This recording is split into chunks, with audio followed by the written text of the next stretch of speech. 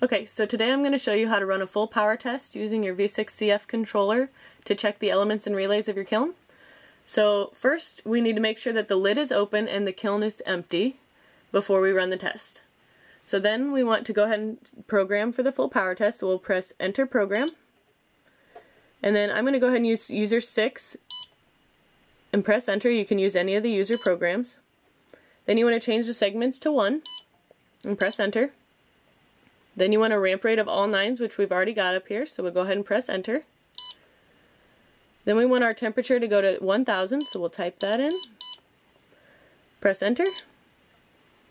And then we want a hold time of zero, so that's already there. We'll go ahead and press enter again. And then we want our alarm set to all nines, which shuts the alarms off.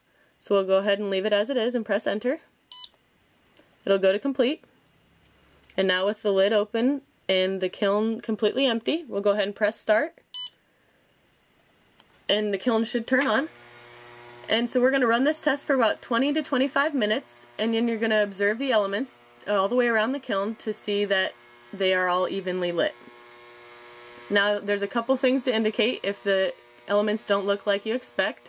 So if one section of the kiln is dark and not coming on, that would indicate a defective relay. If one element is not glowing at all, that would indicate a broken or bad element. If there are dark or cool spots along the element, that can indicate a worn element. And if you see that the top and bottom elements appear brighter than the middle, that is actually normal for some kilns as they have a hotter element in the top and bottom. So once you've made your observations after the firing, you can go ahead and turn the kiln off and then you can contact your kiln manufacturer for the kiln replacement parts.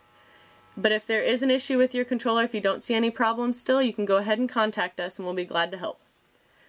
So that's it for now, but remember to check our website for updates, like us on Facebook, and sign up for our e-newsletter for more information. Thanks!